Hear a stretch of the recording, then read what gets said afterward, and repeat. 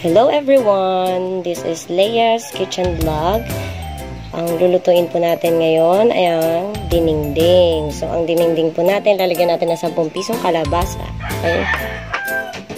10 pisong saluyot.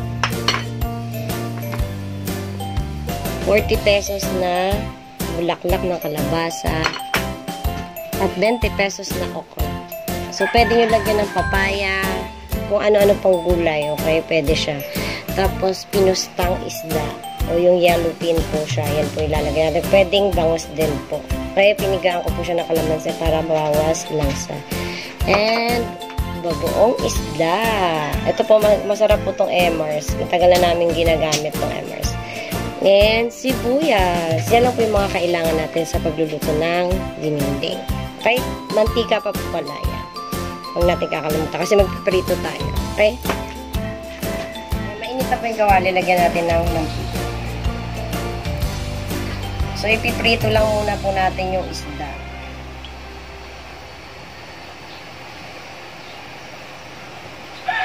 So, habang piniprito natin isda, pakukuluin mo naman yung tubig na pangsabaw dun sa dinding. Kaya mainit na po yung kawali. Lagyan na natin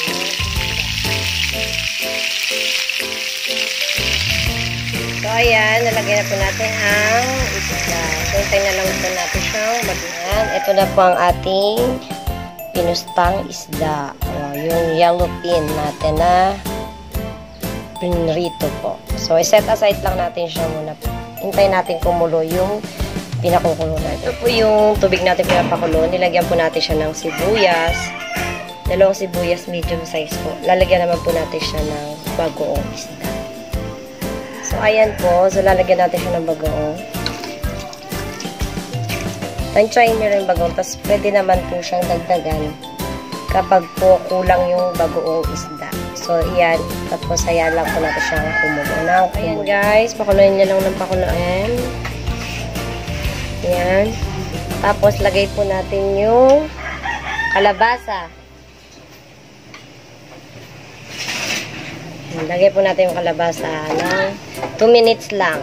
Tapos, takpan lang natin sa 2 minutes lang po. Ayan. After 2 minutes, lalagay po natin ang okra. Ayan.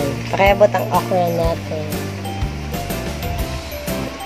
So, lagyan natin siya. So, sa okra po, saglit lang po yan. Then, susunod na po natin ang kalabasa and yung saluyot. Ayan, after few minutes, pag, sa pagkakalagay ng okra, ilalagay na po natin ang, ito kasi madali na pong maluto, yung daon ng kalabasa. And, saluyot.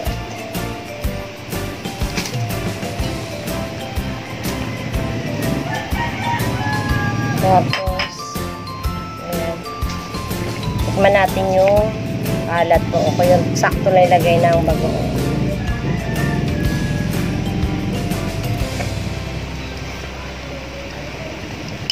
So, sakto lang po siya. So, ayan na po natin siyang kumulo. Tapos, lagay natin yung, ayan po. Dahil papaluto na po yung gulay, lagay na po natin yung spritong isda.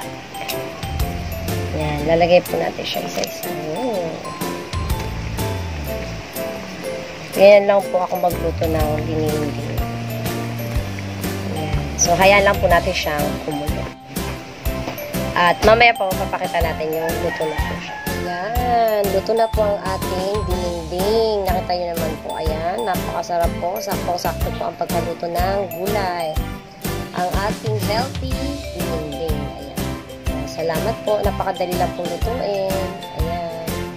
Bye.